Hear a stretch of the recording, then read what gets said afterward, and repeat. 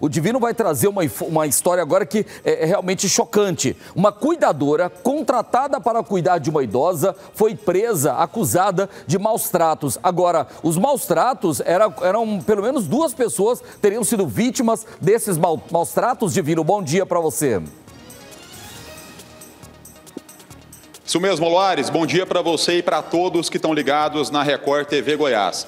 Loares, a delegacia especializada no atendimento ao idoso recebeu ontem uma ligação. Nessa ligação, a pessoa que não quis se identificar fez uma denúncia.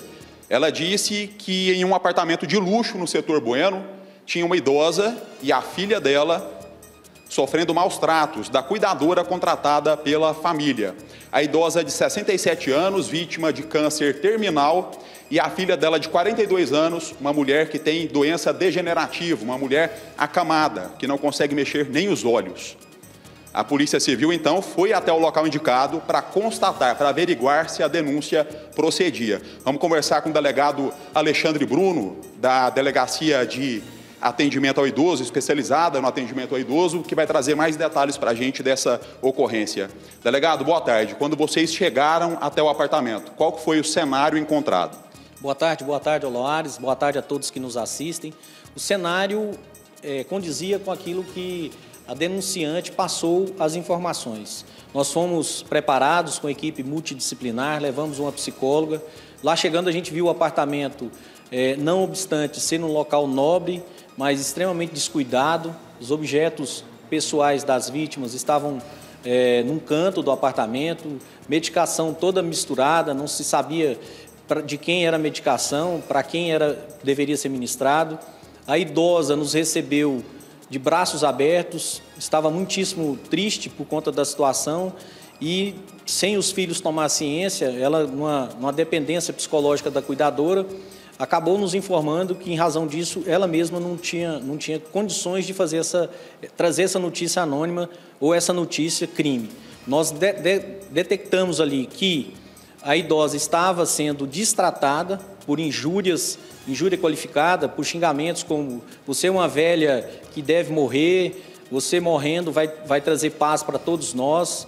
E a filha que, que se alimentava por sonda a, a cuidadora fazia comida normal e passava vontade nessa filha, que não podia beber água também, ela bebia água perto dessa filha, fazendo toda essa chantagem emocional. Em razão disso, a Polícia Civil autuou em flagrante essa cuidadora pelos crimes de injúria qualificada e maus tratos. Somada as penas, ultrapassa de sete anos. Vocês constataram, inclusive, que essa mulher de 42 anos, que se alimenta exclusivamente por sonda, era deixada por longos períodos sem essa alimentação por sonda. Sim. É, vale repetir aqui, né? Não obstante ser uma família é, é, de classe média alta, em que não se faltava nada, essa cuidadora restringia é, o acesso dessas vítimas à alimentação, inclusive essa vítima da degeneração é, ela deve alimentar por sonda e essa sonda era ministrada 24 horas. Ela passava grande parte do tempo sem essa sonda. Essa cuidadora, uma mulher de 52 anos, que não tem antecedentes criminais, morava lá na casa né, com as duas. O que, que ela alegou no momento da prisão, delegado? Ela, é, ela veio do, do Maranhão para cá, veio especificamente para cuidar dessas duas pessoas é uma pessoa que você, se você conversar com ela à primeira vista, você percebe que ela, ela é muito nervosa. Aqui na delegacia, ela foi colocada no lugar dela, ela quis é, é, usar de uma, de uma linguagem grotesca aqui na delegacia. É, e aí, ao final, ela percebeu que ia ser autuada, ela ficou mais calma e disse que era o jeito dela de agir. Que ela falava essas coisas para a idosa e para a vítima, não com a intenção de, de injuriar ou de causar algum mal.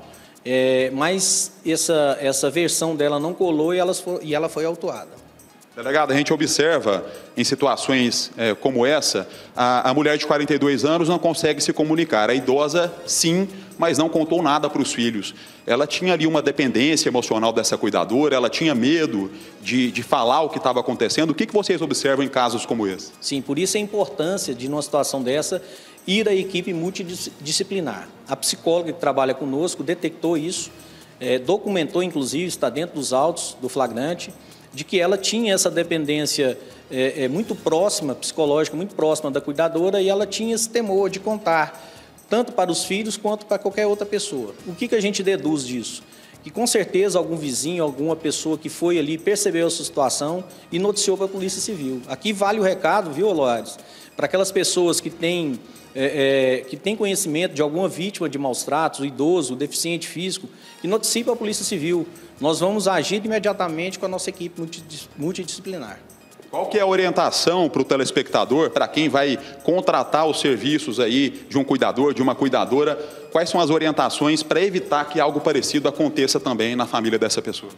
É, referência, tem que pegar a referência dessa pessoa.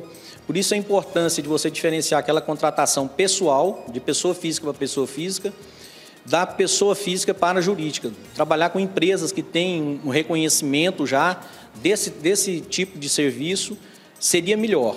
Mas se for contratar pessoa física, olhar a questão de antecedentes, verificar a personalidade, verificar se essa pessoa tem experiência na área. Você vai evitar muita coisa se você agir dessa forma. O Luares tem pergunta, pode falar, Luares. Ô, ô Divino, eu estou tão chocado com a história, eu queria que o delegado é, repetisse para a gente qual é a, a, situação de saúde da idosa e da filha dela. Qual, é, elas, elas teriam condições de reagir ou talvez até avisar alguém?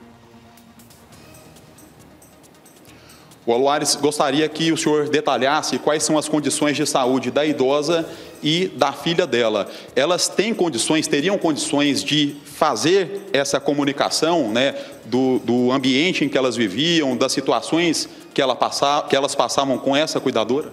Sim, Oloares. A, especificamente a idosa. A filha não consegue se comunicar, ela mexe só dois dedos das mãos, mas essa forma dela mexer os dedos das mãos, a mãe entende, e nos repassou, né? nós, nós entrevistamos as duas de forma separada, mas elas, é, pelo estado físico e emocional da idosa que está é, é, é, vítima de um câncer, né? um câncer maligno, é, ela não conseguia se locomover dentro do apartamento para poder ligar para a polícia, por exemplo.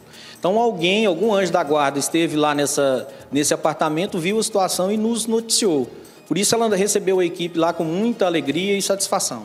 Delegado, felizmente não foi constatada agressão física, mas houve agressão verbal, tortura psicológica, restrição de alimentação. Gostaria só que o senhor reforçasse quais são os crimes aí investigados e quais são as penas para esses crimes. Tá. Maus tratos, ele pode ser de forma física ou psicológica. Ela foi autuada por conta dos maus tratos na via psicológica. Pode ser que ao final da investigação eh, nós venhamos entender que se trata de tortura e a pena é maior né, e também a questão da injúria qualificada. Se somar as penas desses crimes, se nós formos lançar aí um indiciamento pela tortura, somado com a injúria, ela vai passar de 10 anos. E aí, é, é reclusão, evidentemente. É, hoje ela, ela deve passar pela audiência de custódia. Como o crime não envolve violência nem grave ameaça, ela deve ser liberada porque ela não tem antecedentes, mas a investigação vai prosseguir, ela vai ser indiciada nesses tipos penais. Doutor Alexandre Bruno, da Delegacia Especializada no Atendimento ao Idoso, muito obrigado pela entrevista e eu volto com você aí no estúdio, Loares. Ô, Divino, é muito sério isso que a gente está falando. Aliás, cuidador de idosos é a profissão do futuro. Quem estiver atrás aí, é, sem dúvida, sem saber qual é uma grande profissão do futuro, essa população brasileira está envelhecendo e cada vez mais nós vamos precisar ainda mais desse tipo de profissional. Está faltando esse tipo de profissional no mercado, cuidador de idosos, é, mas você precisa buscar referência, buscar orientação e uma dica, né? Eu conversei outro dia, viu, Divino, doutor Alexandre, muito importante. É, você familiar. Gente, arruma um caderninho, arruma um caderno onde você vai exigir do cuidador. Tomou o remédio que horas? Tossiu que horas? É, ela vomitou que hora? Ela almoçou que hora? Porque quando você, como normalmente essas pessoas não se comunicam, não verbalizam, é, na hora que for mostrar para o médico, olha, é, as fezes. É, gente, eu, eu, vi outro dia é, uma palestra de uma pessoa ensinando como um cuidador deve agir. Eu fiquei realmente impressionado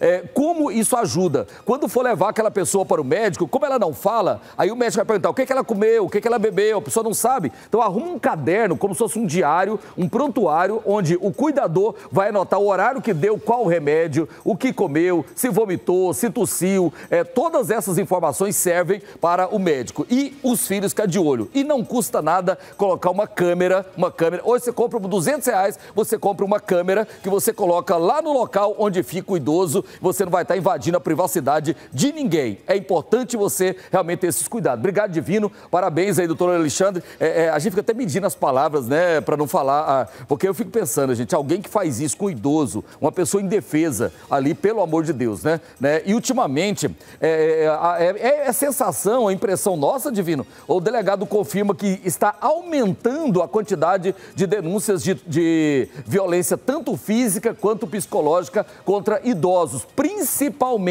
praticados por filhos que querem o cartão da aposentadoria do idoso para ir lá fazer empréstimo e chega depois o idoso nem remédio para beber tem. Tem aumentado essas ocorrências, Divino? O Aluar está perguntando, o delegado, se houve um aumento nas denúncias é, contra filhos, até mesmo parentes de idosos é, relacionados a, a aquelas pessoas que querem pegar o cartão do idoso, praticar ali a violência financeira. Vocês têm observado que houve aumento nesse tipo de denúncia? Exponencial, viu, Loares? A, a delegacia do idoso hoje, que cumula com a delegacia de, de atendimento ao deficiente físico, é, na sua nova maneira de agir agora, com a nova técnica policial, em que a equipe multidisciplinar vai dar uma atenção especial para aqueles casos de maus tratos, de exploração financeira, nós temos percebido que com a divulgação do trabalho aqui aumentou exponencialmente essa, esse tipo de prática delitiva. Vamos só reforçar qual é o canal de contato, então, para quem quer fazer uma denúncia, entrar em contato diretamente com a delegacia? Aqui nós temos três formas de, de da, da do comunicante entrar em contato conosco. É o 97, que é o geral da Polícia Civil, o Disque 100 e diretamente vindo aqui na delegacia. A pessoa vai ser atendida, vai ter a sua identidade preservada e nós, com toda certeza, iremos agir. Obrigado, delegado. Oloares. Obrigado, Divino. Delegado Divino, só para a gente. É um, é um, outro assunto, mas também tem muita relação. Muitas pessoas contratam enfermeiros para cuidar aí de idosos, pessoas acamadas. E sobre esse assunto, eu não vou entrar. Atenção, pelo amor de Deus, enfermeiros, entenda o que eu vou falar. Prestem muita atenção. Teve aquela confusão, aquela briga para criar o piso da enfermagem foi criado, aumentar o salário dos enfermeiros, parecia um lado bom. Sabe o que está acontecendo? De 30% a 40% dos hospitais particulares já demitiram os enfermeiros.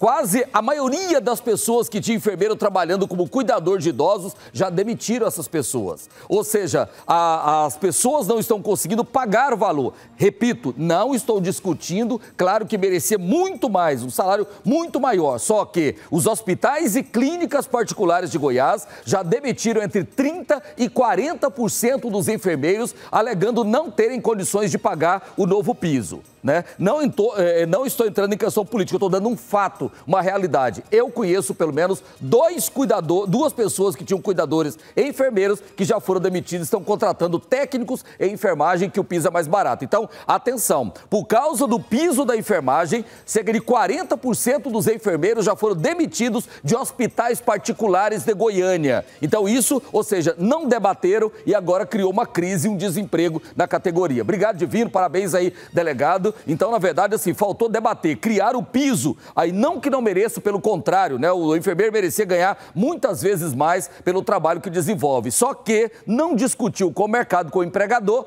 Resultado agora, a galera tá, fica desempregada. Desempregada.